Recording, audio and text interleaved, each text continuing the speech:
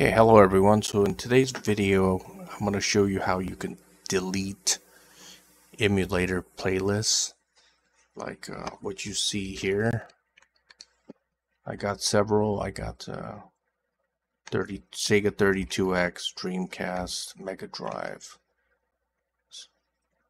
Sega CD. Let's say I want to delete Sega CD. I could do that.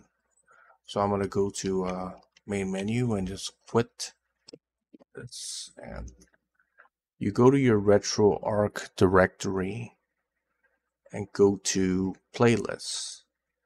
Here you could delete what you want. So I want to delete Sega CD. So I just delete that like so, and that's it. When I go back to RetroArch, that uh, menu should not be there anymore.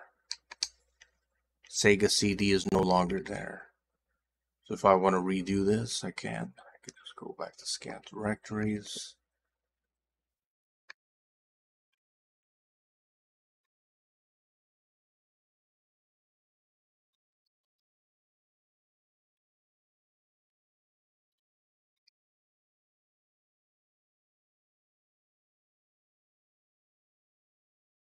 I could just redo that and um, it should populate again. So that's how you delete uh, emulation playlists. It's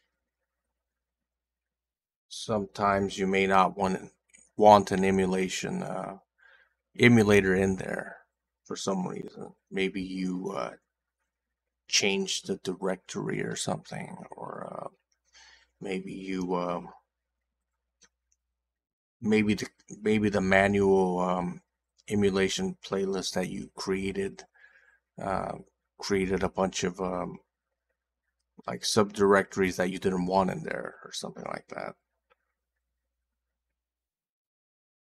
You could just simply delete the playlist and just create a new one or create a different one. Or if it's just too crowded, you could just delete whatever you want. So that's all you could do. So, uh, if you have any questions, you could leave it in the comment section below, and thanks for watching.